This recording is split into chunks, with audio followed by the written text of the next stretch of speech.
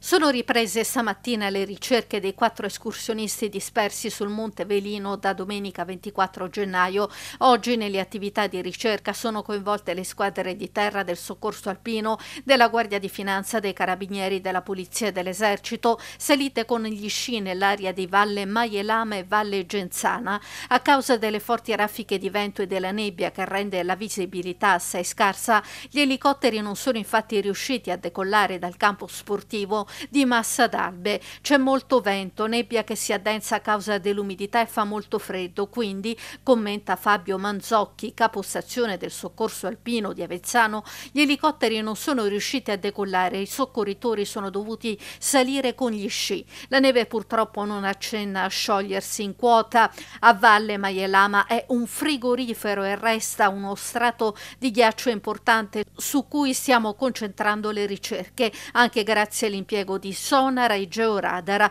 mentre nella parte a sud della valle stiamo bonificando creando un percorso per salire agevolmente, conclude con le squadre di terra.